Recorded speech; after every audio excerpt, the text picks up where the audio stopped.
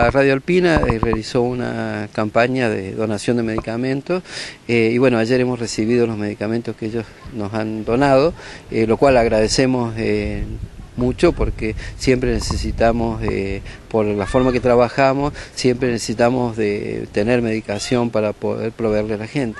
¿Qué tipos de medicamentos?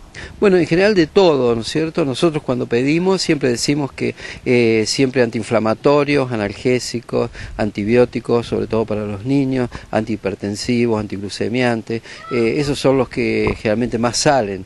Eh, por la forma que nosotros trabajamos, generalmente tratamos de ayudar a la gente dándole por las primeras partes de los medicamentos, cosa de que si, por ejemplo, caen en alguna, en alguna guardia, algún problema, eh, bueno, iniciamos los tratamientos porque, bueno, sobre todo en esta época de invierno, ¿no? que, por ahí a la madrugada eh, ir a comprarlos a la noche, preferible irse a su casa y empezar a tomar ya la medicación. Entonces, tenemos que disponer de fundamentalmente antiinflamatorios, antitérmicos, como te decía recién, antibióticos para los chicos. Y bueno, la donación fue dirigida en ese sentido y bueno, le agradecemos muchísimo a la radio y a toda la gente que, ha donado porque bueno, independientemente de la cantidad y de los medicamentos, está eh, un poco la intención, ¿no? Eh, que es lo que valoramos notablemente. es la primera vez que esta radio hace una campaña en la que involucra a, los dispensarios. Sí, ya se ha hecho con respecto a, a ropas